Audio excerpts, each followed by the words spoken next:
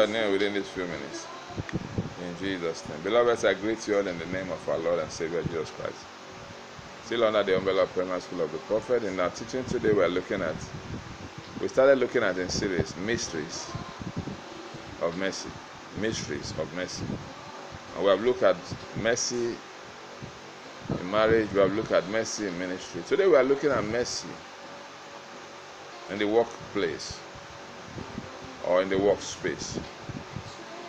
I see mercy on your jobs, on your business.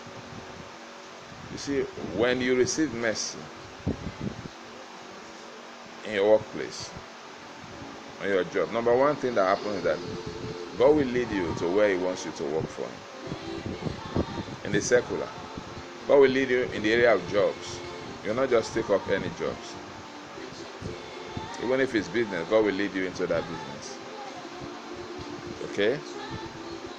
Now, your prosperity will be so evident that people around you will notice it. Just like the Bible says that Laban said to Jacob that before I came, before you came, I have a little, but now that you came, God has prospered me greatly. The same thing.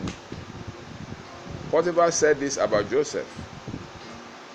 He said, I've seen clearly that the Lord has blessed me because of you.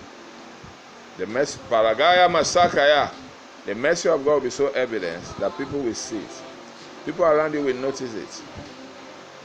That whatever you touch prosper on that job, in that business, it is called the mercy of God.